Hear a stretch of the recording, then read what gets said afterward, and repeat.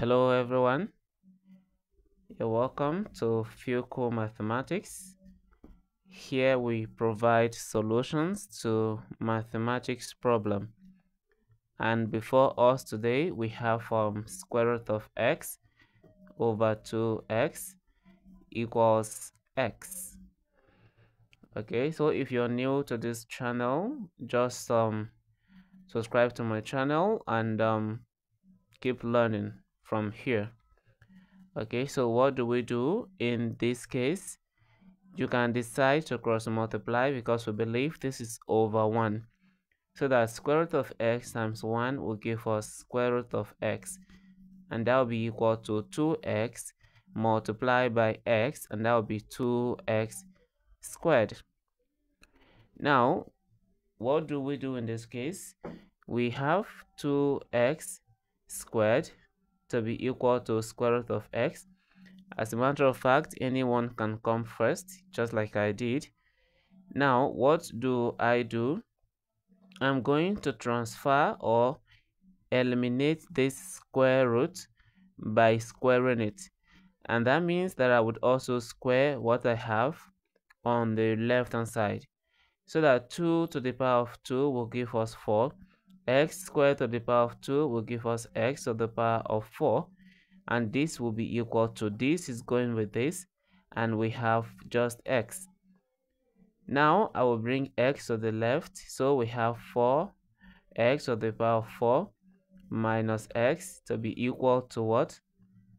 That is some um, 0 because x is already on the left hand side.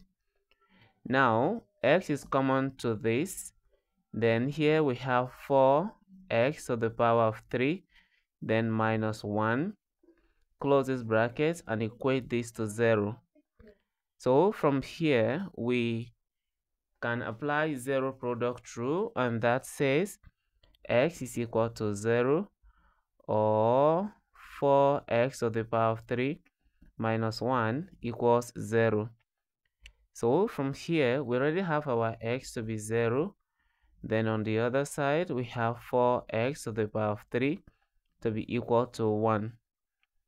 So what can I do? Divide both sides by, by x.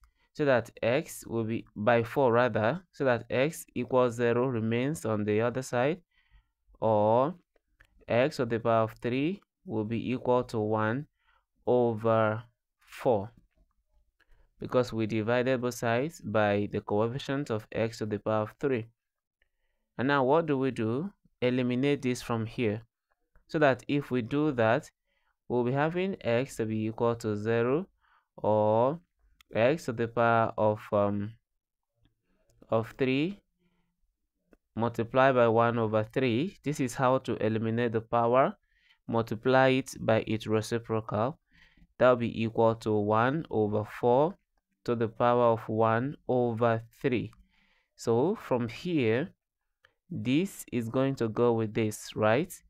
Then we have x to be equal to 0 or x on the other side to be equal to 1 over 4 to the power of 1 over 3. So you can decide to stop over here and then you call this your final solution. Thank you for watching. If you love this video, just say something in the comment section.